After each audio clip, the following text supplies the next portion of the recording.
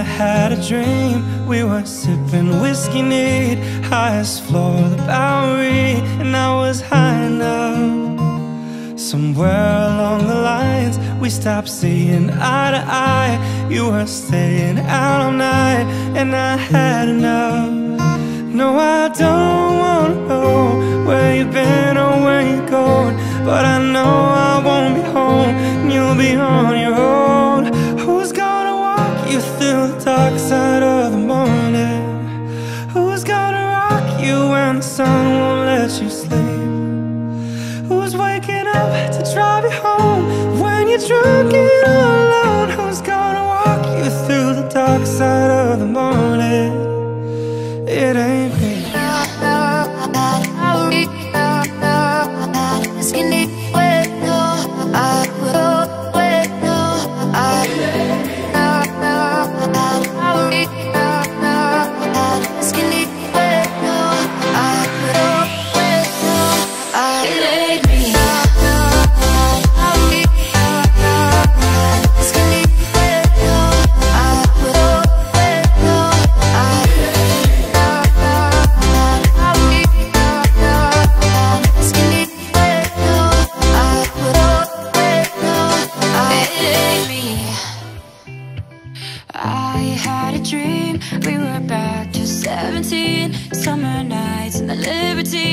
never growing up. I'll take with me the Polaroids and the memories But you know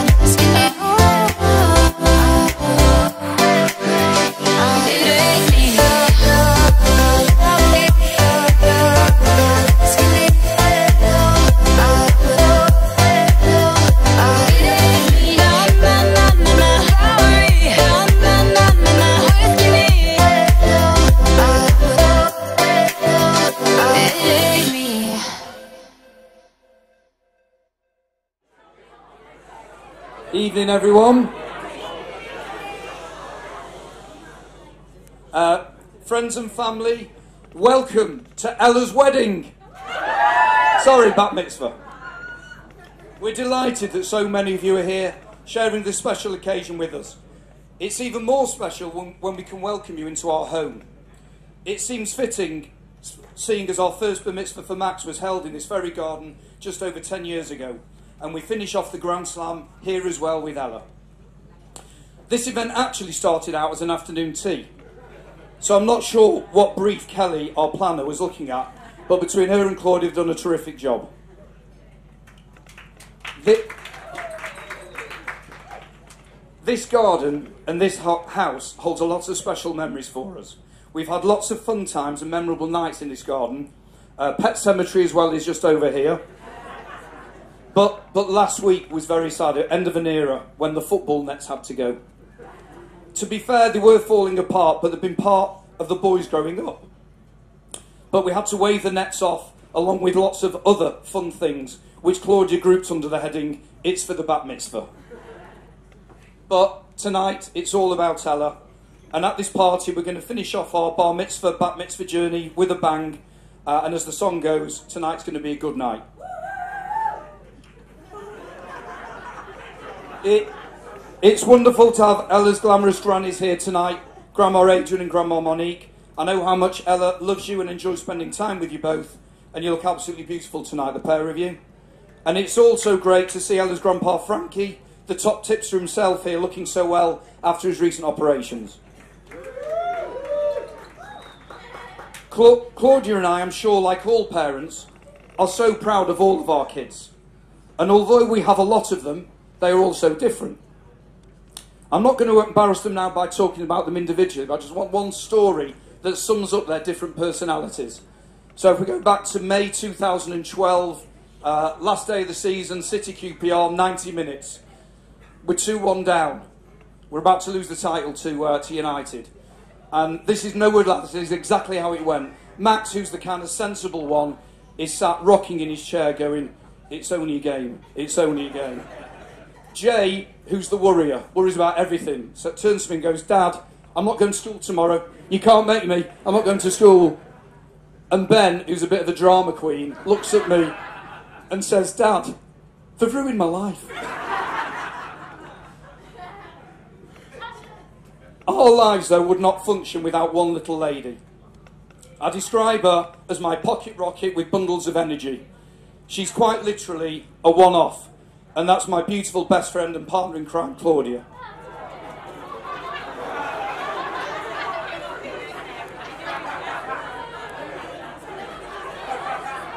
There, there are some people who are just doers, and Claudia definitely falls into that category. She puts ev- she's put everything into arranging this night for Ella, but I don't know if you're aware that Claudia hasn't been well in the run up to this weekend. In fact, she's not been well at all. She's de- developed a form of Tourette's. And this is where she randomly shouts out instructions and commands at me, which are all bat mitzvah related, at the most inappropriate times, and with no relevance to what we're talking about. It's particularly bad any time after midnight, just I'm putting my head down to go to sleep. If I've managed to sneak a sit down for five minutes, she's on to me like a flash. Have you not got your jobs to do? Now, I think I do a lot around the house. And guys, I think it's all our wives' thoughts that if they don't see it, it simply hasn't happened. And Claudia's Tourette's has normally ended up with a comment, you're in denial. But Claudia, you've pulled it off. And I know with everyone here with us tonight, this is going to be another great party. And Claudia looks simply stunning. How lucky that you picked the first dress you tried on and there were no dramas. yeah, right. We've come a long way, you and I, and for those of you who don't know, it's our 25th wedding anniversary this year. Yes, there's been good times and sad times, fun times and tough times, but we stay strong and we're still standing. So enjoy tonight, don't worry about a thing, and if in doubt, drink vodka. Okay, on to the lady of the moment. Some of you know her as Ella Bella, Daisy Maisie Ruby Rosie Rose.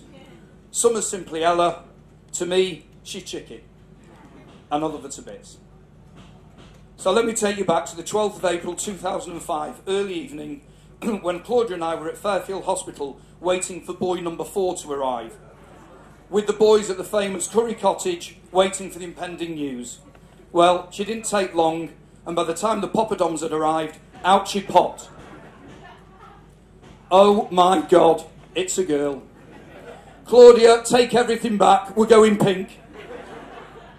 I promise you, we never thought we'd have a girl. To be fair, we were quite happy with Ben.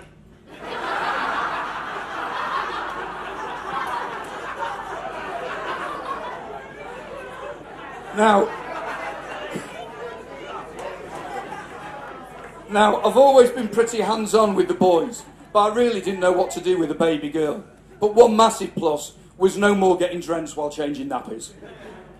From the moment we brought you home, Ella, our, our house was never to be the same again. Her brothers are very protective of her, despite the heavy banter she has to deal with. Ben has taught her all the full back catalogue of City songs, and I'm very proud, Dad, that not only is she a City season ticket holder, but she genuinely loves coming to the game and understands what's going on, including the offside rule. Ella, as the only girl and the youngest sibling, has to fight to be heard. She complains she gets ignored during any family chats. The other week, she was speaking at the dinner table very quickly. I said, Ella, slow down. And she replied, I can't, because if I stop talking, one of you interrupt me, and then I've lost my place.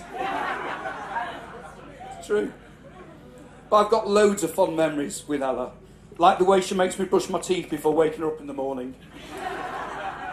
The way she spends as long on the toilet as any of me or the boys.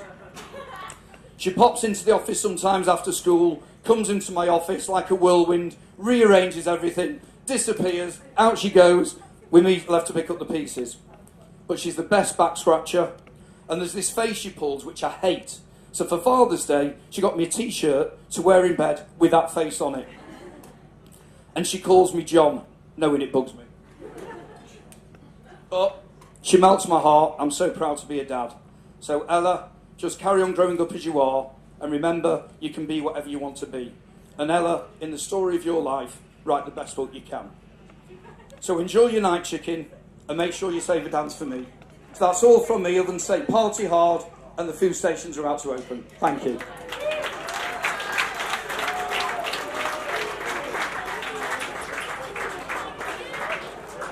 When Ella asked me to say a speech at her bat mitzvah, I was actually really surprised because I know all the secrets and I love to tell a story. So Ella, here we go. It all started back in 2004 when my mum and Auntie Claudia were waddling around with baby bumps and looking forward to the arrival of their prince and princess. Of course, Auntie Claudia was running around, going to the gym and out most nights returning things she had just bought, whilst my mum was throwing up most of the day and nights. So it was always going to be that Ella would follow in her mum's footsteps. So on a nice sunny day in April, Ella Bella Daisy Maisie Ruby Rose was born, and Auntie Claudia could finally start buying pink things. In fact, if Ella would have been a boy, they would have had their own five-a-side football team. But Auntie Claudia had already insisted the kit would be pink. The only top she could find that would fit Uncle Johnny was a pink marquee. but fortunately, out popped a beautiful baby girl. Ella grew up in a house full of boys. That's if you count Ben as a boy. Because let's face it, he's more of a girl than Ella.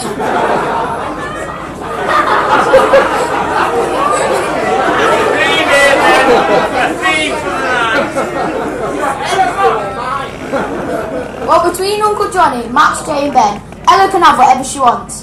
Max, get me this. Jay, can you just turn the TV to this channel? Ben, can you help me with my ASOS order? She's got them wrapped round her little finger. Uncle Johnny is a real softie and loves his little chicken Ella. She can do whatever she wants and he will never ever tell her off. She totally spins the Rose house around. It's a miracle that Ella has made it here tonight, as there is a history of Uncle Johnny forgetting to bring her home. We always have to check JR's little chicken is safely in the car and not left behind in some random place. We have, ins- we, ha- we, have, we have spent every holiday together since we were born. Ella was always an angel, doing all the right things. She would fall asleep on the plane, I'd fall asleep on landing. she would eat all the food. I'd prefer a food fight. Our dads, would, our dads would walk us round in our prams. Ella would fall asleep after one lap. My dad was walking me around for 20 laps. You get the picture. She was a right goody two shoes, and she still is. So I cannot remember life without Ella being around. And when we moved across the road, we were like an old married couple. Ella is the boss of me, just like my mum is the boss of my dad. No, no, no, that's been changed. and edited. And Auntie Claudia is the boss of Uncle Johnny. Well, that's true.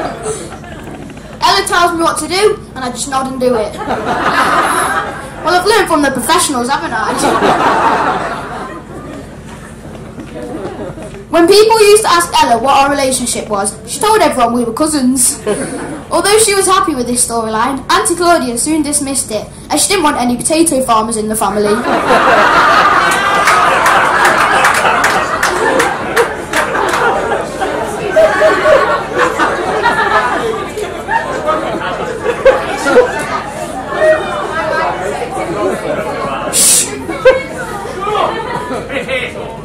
Me and Ella, me and Ella are very close. Sorry, Sam Leonard, I know you like her.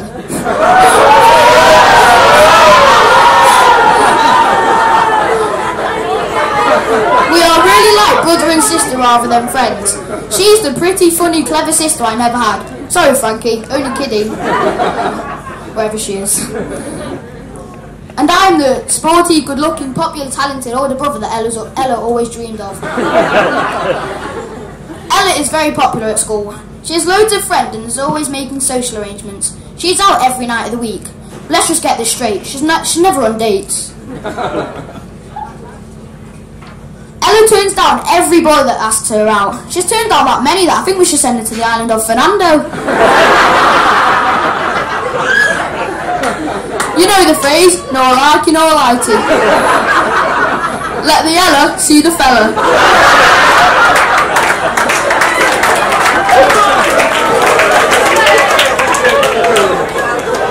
Always see her on her phone. Ella loves to post on Instagram 70 times a day. You always know what she's had for breakfast, where she's after school, and who she's hanging out with. Ella is never at home. She's either doing a dance show, ballet, or acting. I'm sure one day we will see her on the telly in Corrie or Britain's Got Talent. Oh no, if there's ever a programme for Ella, it's got to be The Housewives of Cheshire. If you ever want to know anything about Auntie Claudia's spendings, Uncle Johnny's latest football master plan, Ben's love life, Max's hair, or Jay's poorly tummy, Ella will tell you. I actually think she has all the family phones hooked up to hers, and she seems to know everything that goes on in their house. Ella loves to go shopping. I can't imagine where she gets that from. She also loves to be pampered. She gets her nails done, and she's also learning how to do her makeup like a professional. I'm sure you will all agree that she looks lovely tonight.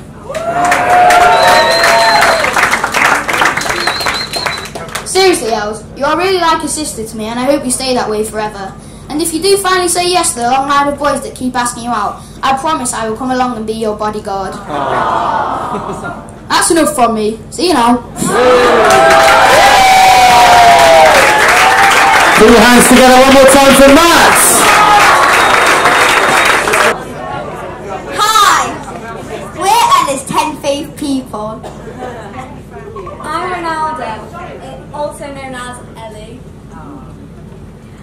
I'm Justin Bieber, also known as Pansy. I'm Bruno Mars, also known as Ella.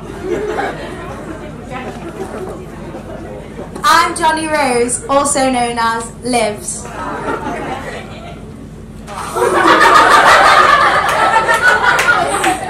And Westwood, also known as Pearl.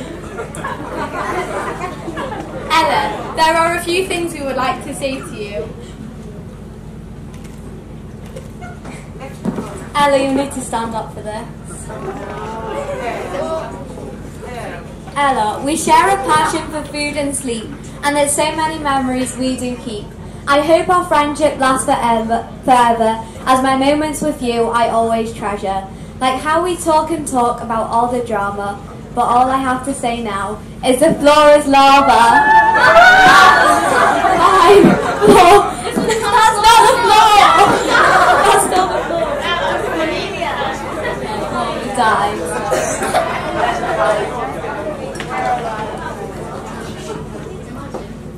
Ella, we've been best friends since the day we were born. We'll be best friends till dusk till dawn. And all these years, the memories we've made, I hope that they will never fade. I, I, I really hope our friendship lasts forever. We have the best times when we're together.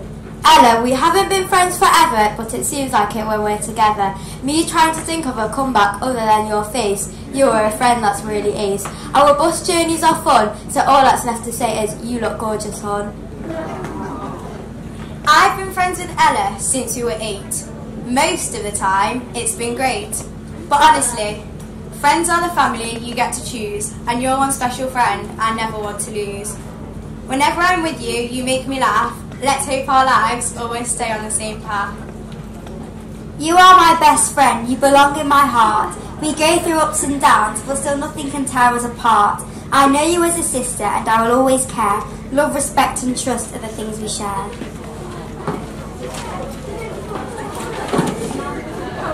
Muscles, babe, you look amazing. Ella, we come up to collect your. And let's have a cheer again for Olivia Tams and Ellie Parr and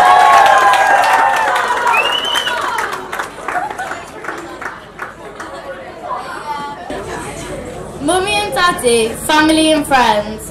Firstly, I just want to say a massive thank you to everyone for coming tonight and celebrating my bat mitzvah with me. This isn't quite the party my mum and dad were expecting, but it's exactly what I had in mind.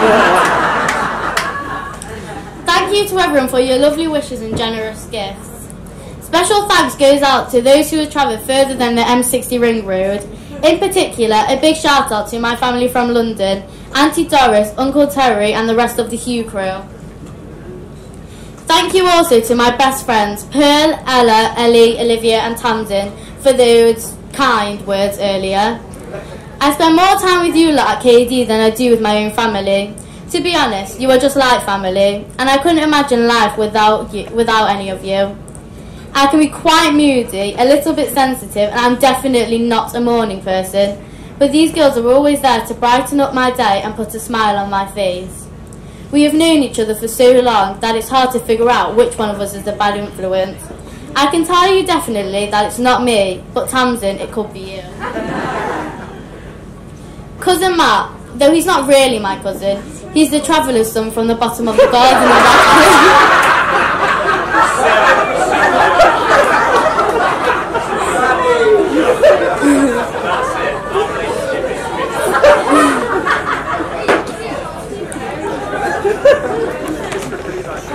bottom of the garden in Radcliffe. 26 and proud. Only joking, Uncle Shay. I love you. My dad made me say that. Matt, thank you for your lovely words. Matthew and I have been brother, like brother and sister since we were knee high to a grasshopper. Unfortunately, Matt still is. but he's a great friend and he's always looking out for me. We have been on holidays together forever. Turkey, Israel, Disney, Spain and cruising the Mediterranean. Despite spending so much time with Matt, I know I'm a disappointment to him. I can't play football. Although I do support the best team in the land and all the world. Matt, I love you like a brother and always will. Talking of brothers, I've got a few of those. Although you shouldn't really have a favourite, I'm not going to lie, but Max is my favourite.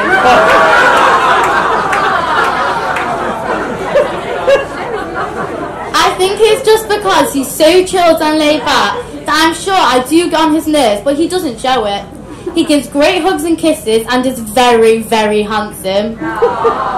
Just need to find him a girlfriend now. Max, I love you big time. Then there's my Benjamin as a ballerina.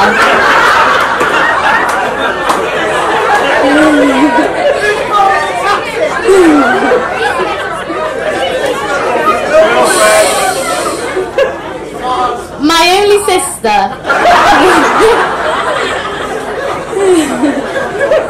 he loves our regular shopping sprees to the trap, where we shop till we drop, and we both wait, and we both get our eyebrows threaded.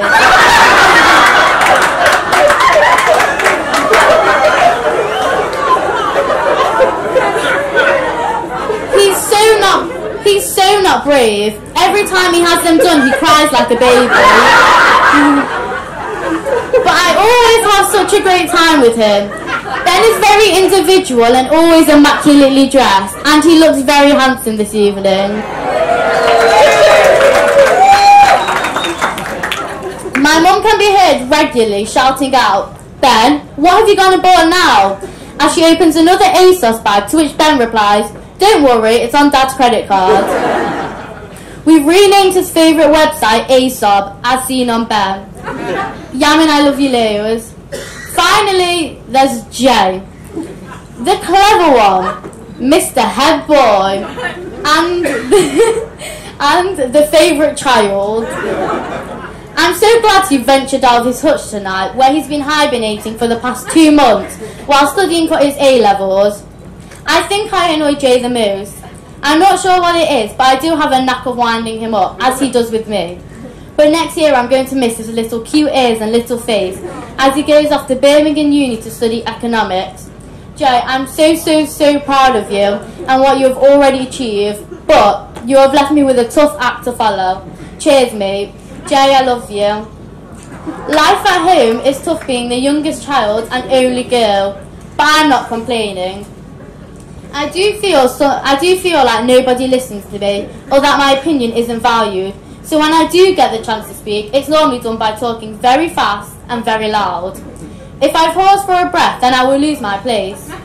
On the plus side, I can get away with pretty much anything. And if I do something really naughty, I can always blame it on one of the boys. And often do. And it's normally Ben.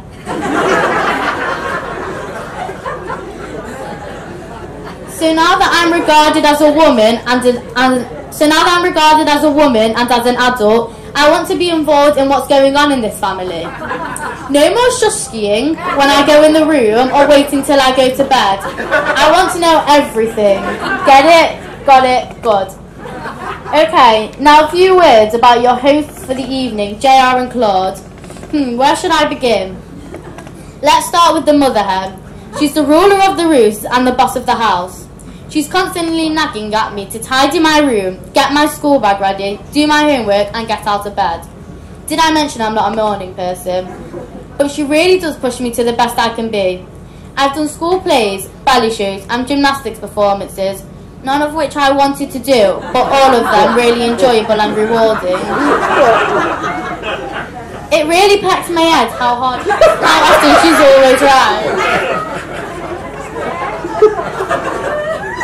Now many of you, know, now many of you who know my mum knows about her Claudiisms. Some of them are quite legendary, but tonight I'm not going to spare her blushes and not tell. But mum, you do have us in absolute stitches.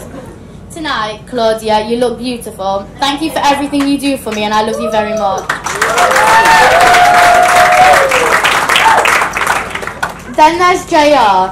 He thinks he's the boss of the house. He thinks he's cool, but he's really not. I know how to drive him mad with my constant phoning during the day, although I don't often get to speak to him as he's always in a meeting. Sometimes he doesn't even pick up the phone. I just get the standard auto reply of, sorry, I can't talk right now. Dad, do you actually do any real work as you're always constantly in meetings? I do have some strict rules though. When my dad gets me ready for school, I make him brush his teeth before waking me up. And whenever he picks me up or takes me anywhere, I always unplug his phone and plug mine in so we can listen to some decent music. It's always a battle, and he normally shouts, Stop fiddling with my buttons. But I love the time we spend together, and I particularly love going to watch City with him and the boys. I do really love City, but sorry, boys, because when I grow up, I'm going to marry Cristiano Ronaldo. Dad, you're a nose at times, but I love you so much. Thank you both for making tonight so special for me. So that's pretty much me done. And other to say, have a great time and remember the theme tonight is eat, drink, rave, repeat. Thank you. Put your hands together for Ella. Come on.